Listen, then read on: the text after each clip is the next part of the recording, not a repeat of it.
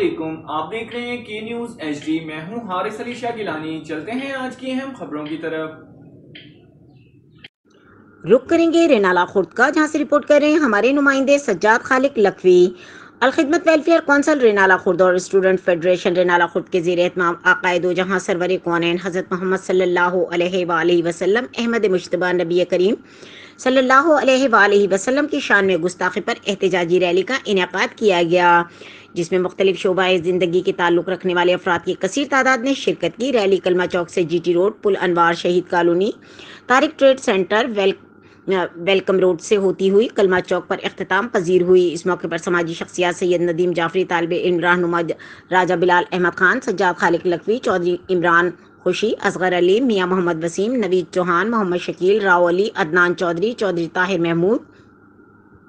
आसिफ जमील, चौधरी हाफिज मोहसिन शान, सज्जाद फरीदी, मोहम्मद उस्मान, हाफिज अवैस फरीदी, चौधरी हमजा व दीगर शख्सियात ने इंडिया के हुक्मरानों की बेगैरती और हमारे प्यारे नबी सल्लल्लाहु अलैहि वसल्लम की शान में गुस्ताखी पर भरपूर एहतजाज किया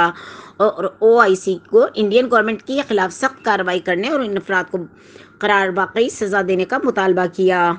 मजीद खबरों और अपडेट्स के लिए हमारे साथ रहिएगा। तब तक के लिए अपना ख्याल रखिएगा। अल्लाह हाफिज।